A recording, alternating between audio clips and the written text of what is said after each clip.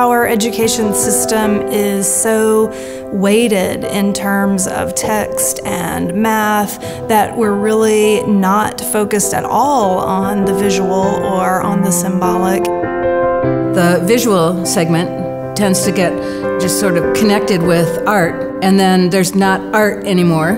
So, what happens to it?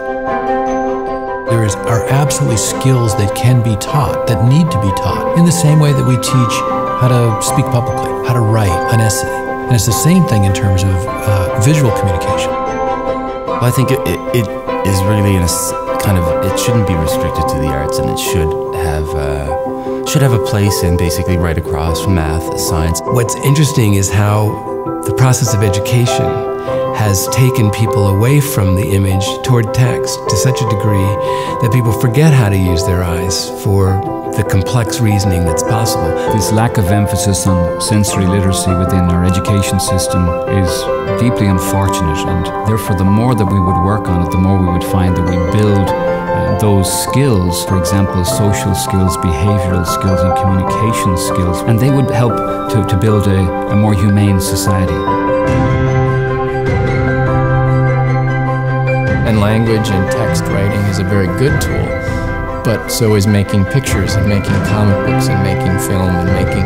Those are very good tools to reflect on ourselves and how we think. The more that those tools embrace the complexity that we are, I think the better we have of sort of understanding who we are and who we can be. And, and that ultimately is what education ought to be. This is not a nice extra. Core of an educational experience has always been and will always be communication.